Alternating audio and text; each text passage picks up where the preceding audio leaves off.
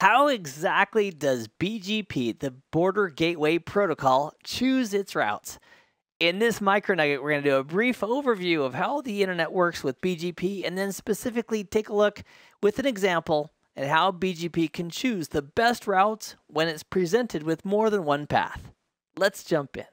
So to appreciate how BGP makes forwarding decisions and chooses routes, let's make sure we're comfortable with what BGP, the Border Gateway Protocol, does for a living. In our network that we have here, I have five clouds.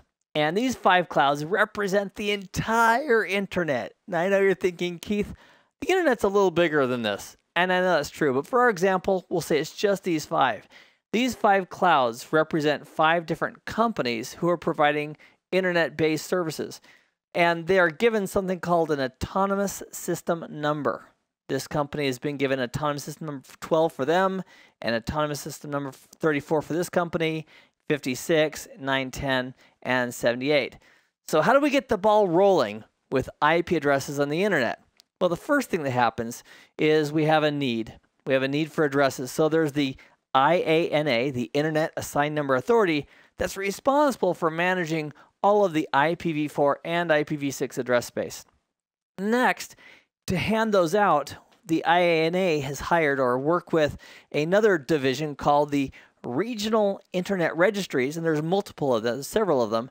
If a company wants to go in business or they want more IP addresses, they make a request to their local regional internet registry, they get their IP addresses. So let's say, for example, that this autonomous system, or AS910, what they want to do is they want to request a new block of addresses.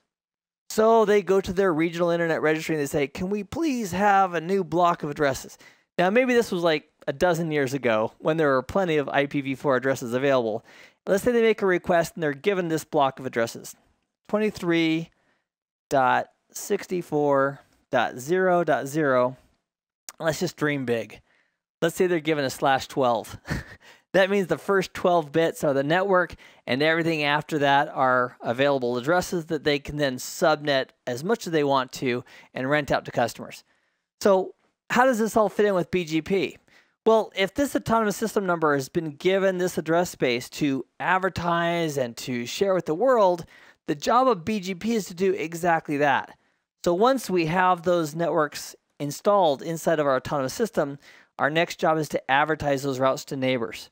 So we're going to advertise the routes to ASN 56 and we're going to advertise it up to ASN 78.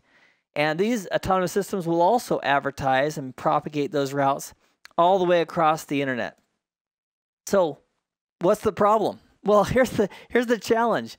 Let's say that autonomous system 12 learns about the network 23.64. So it's learned it, but it's learned it from two sources, from here and from here.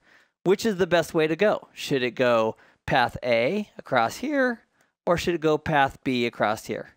And this is the point of this micro nugget, is to give you the decision point of how does BGP choose the route to get to the 2364 network? Does it go path A or B? And the way it works is this. When ASN 910 advertises the route, it puts on the path 910. There's a little attribute, a little value called what path has this route been advertised on? When AS56 advertises it over, it tacks on its autonomous system number 56. And so when this route shows up on path B, it's going to show up that it went through AS910, it went through AS56, and here's the route.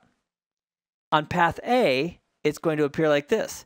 It's going to have 910 as part of the path, it's going to have 78 as part of the path, and it's going to have 34 as part of the path. So for path A, it's going to look like it went through 910 and 78 and 34. You with me? Those three autonomous systems up top, and these two autonomous systems for the path B. So all the router does inside of BGP, I shouldn't say all, but the primary decision making for which path to use is by looking at the length of the path. Because this path up here is 3, and this path down here is 2, it's going to choose the path with the lowest number of autonomous systems in the AS path list. That's it. So let's take a look at this in action. Let's say Autonomous System 910 has been given that network block at 2364 slash 12, and R10 has been chosen to inject or introduce that network statement into BGP. We could go over to R10 to simulate this, go into configuration mode for BGP for Autonomous System 910, and simply add the network statement. And now he has the ability to advertise that network. Now 910, this AS is advertising it northbound to 78 and also to 56. 78 is advertising it to 34. And as they advertise that route, they're going to append to the autonomous system path their AS number, their autonomous system number. Why is that important? Let's go take a look at R1 and I'll show you. We do a show IP BGP right here, it's going to show us that we have one path for that route. and now we have two. So BGP takes a few moments to converge. I'll be quite honest, I was expecting both of them to be there the first time. So this is the network that we're after, the 2364012, and we have two entries for it. If we take a look at the far right, this far right is saying that the a, the first AS it came through is 910 because we sourced it, and then it went through 56, which is right here. The other route for that same, the other path for that same network was sourced from 910, went through Autonomous System 78 right up here, and then went through Autonomous System 34 right here. And now the question comes into play how does BGP choose its routes? And the answer is it's going to choose the route with the lowest path. Now, check this out right here. If we take a look at this route right here, or this path, this only had to go through two ASs. This one had to go through three. And that's why, my friends, this little guy right here, the little greater than symbol, means that is the best route. This router is choosing the route that went through the two autonomous systems as opposed to the one that went through the three, all because of the AS path. The lowest is the best, and that, my friends, is how BGP chooses its best path for a route. I hope this has been informative for you, and I'd like to thank you for viewing.